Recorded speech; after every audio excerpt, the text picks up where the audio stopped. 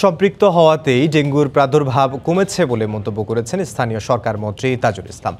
দুপুরে রাজধানীর গাবতলীতে এক অনুষ্ঠানে কথা বলেন তিনি। পৌরসভাগুলোর সক্ষমতা বাড়ানো হয়েছে জানিয়ে মন্ত্রী বলেন, ডেঙ্গু মোকাবিলায় বরাদ্দ বাড়ানো হয়েছে, ডেঙ্গু নিয়ন্ত্রণে বছর জুড়ে কাজ করার নির্দেশও দেওয়া হয়েছে। এছাড়াও বিভিন্ন কর্মসূচি হাতে নেওয়া হয়েছে।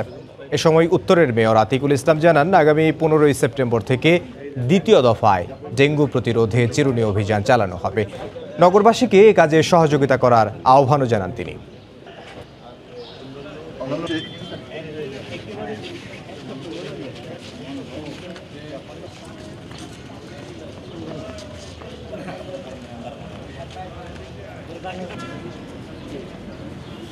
এডিস মশার অথবা ডেঙ্গু রোগের প্রাদুর্ভাব ছিল, ইতিমধ্যে যথেষ্ট মাত্রায় কমেছে। এর পিছনে মূল কারণটা হলো যে, আমাদের সিটি কর্পোরেশনগুলা স্ব উদ্যোগে জনগণকে সম্পৃক্ত করে এর বিরুদ্ধে কাজ করেছে লার্ভা যেখানে জন্ম হয়েছে, সেখানে এটাকে ধ্বংস করে, সচেতন করছি।